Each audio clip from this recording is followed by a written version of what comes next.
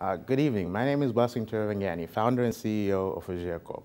Augere means to improve, and that's what we intend to do for Canada's clean tech energy production space by bringing hydroelectric power to the sea.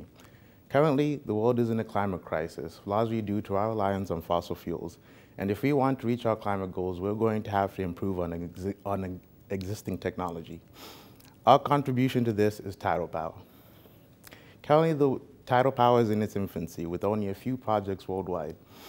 However, we have a patentable nanotechnology IP we can use to protect our turbines from the brine and produce electricity from the sea. The opportunity to power Canada uh, using only its coast is very real. For instance, a combined 33 kilometers worth of tidal, tidal turbines could produce enough electricity to power all of Toronto. Our tidal project has similar costs to other hydroelectric projects, with the upside of scalability and being able to provide power where it's needed most, resulting in a solution that is both cost intelligent while also fuelless.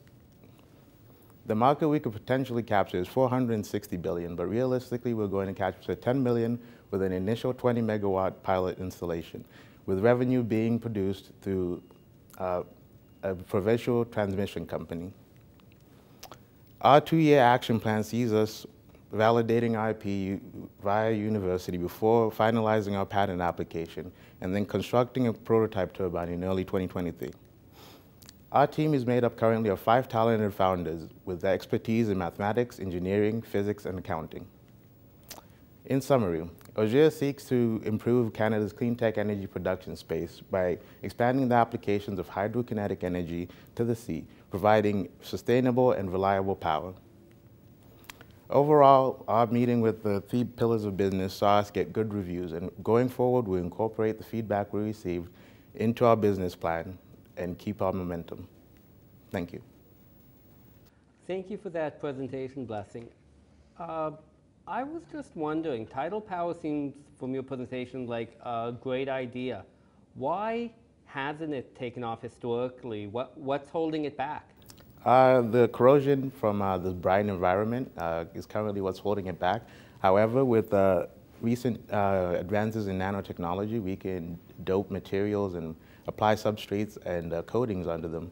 For instance, a very good anti-corrosive material is graphene, which was discovered in 2004, so it's a recent innovation, and it got the Nobel Prize in Physics in 2010. So. And is your approach graphene based? Uh, no, uh, we can't tell you what it is at the moment. No. I like that answer. We can't tell you what it is. So you have a bit of a journey ahead of you. You were saying securing your IP is a big part of it, which mm-hmm. is obviously why if you told us you'd have to kill us. So I'm just curious about what how close to being able to apply for the patents or where you're at in that journey. Uh, currently we have a provisional patent being done uh, by a law firm that we've contacted. Uh, we've been trying to shop around to see where we can get the best deal. Um, but yeah, we're well on our way to that um, patent application, a provisional one first. Um, I'm curious about the, the scale of, of, of what you're what you're talking about. Um, I mean, if you were to to manufacture something that could produce 20 megawatts, you know, how big are we talking about? Uh, that would be about six turbines in total. Uh, nowhere near what I was talking about with uh, powering all of Toronto, uh, but eventually we want to get there. First, we want to prove that this technology works and that we can handle it and uh, actually do what we say we're going to do and then go from there. The idea of turbines in the oceans, uh, what's the impact on the marine ecosystem? Uh, um, it's good that you asked that. Uh, well, we'll be using uh, mostly uh, uh, ion, like um, naturally occurring minerals, like, uh, you know, graphene is made from carbon. Carbon naturally occurs into, uh, in the environment, so runoff from that um, not harmful. So we'll be using similar elements uh, for our coatings. So it, it, the uh, impact won't be very large, and we intend to uh, use a very special design um, for our turbines so that fish can't get into it. So it'll have minimal impact on the environment at large. This is such a big idea. I, I love it. Um, what do you think will happen with the all of the plants that potentially, like if your test phase works and we're in the biggest form of what this could become, um, do you own all of those and sell the, the hydro back, or do you um, partner with, or what's what's your path? Um, we're looking at a very agile approach. Um, we want to say that we're going to go all the way with it, produce the turbines ourselves, use the coatings ourselves. But uh, in reality, if it's um, more beneficial to just sell our coating um, and license it out, we'll do that. If it's better to produce the turbines ourselves and coat them and then sell them off to a third party, we'll do that. Uh, we're in a very early stage of our business, so we're looking to be as agile as possible to. Yeah. Uh, and then, how do you see sort of that decision tree of of deciding as you go forward? Um, basically, it'll depend um, largely on um, on uh, how like largely it'll depend on how quickly we can get to market. If we can get to market faster by doing it ourselves, we'll do that. However, if there is demand for our turbines, but it will take us longer to actually to produce a plant, we'd rather just sell the turbines ourselves to a third party and allow them to use any existing facilities they have.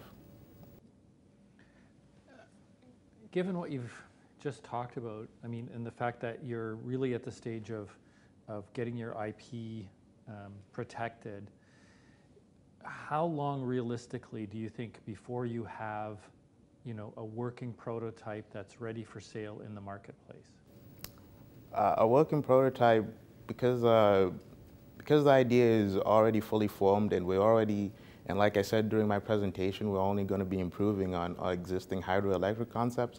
Uh, if we, once we protect our idea, if we begin, um, like I said in my presentation, early 2023, I estimate we'll be ready to, we'll have a working prototype by uh, maybe May or halfway through the year, around there, summer, Q2. Um, if I can ask a follow-up question. If I understand correctly, and I have no knowledge in this area whatsoever, but, but the strength of the tidal current can vary a great deal from uh, one location to another. Uh, yeah, we, I actually have uh, slides concern, you, yeah, concerning that. Um, basically, what we're aiming to work with right now is uh, this is a, a, revenue, expected revenue projection for uh, 0.4 meters per second currents. Um, but we've uh, looked at Canada's coast. We've seen that the most common ones are about 0.4 meters per second. Uh, the second most common is 0.6 meters per second. And uh, the least common is one meter per second currents. And we've uh, made projections for all of those and plans for all of those. Um, but initially, we want to start with uh, the slowest current. And uh, I'm sorry, could you repeat your question?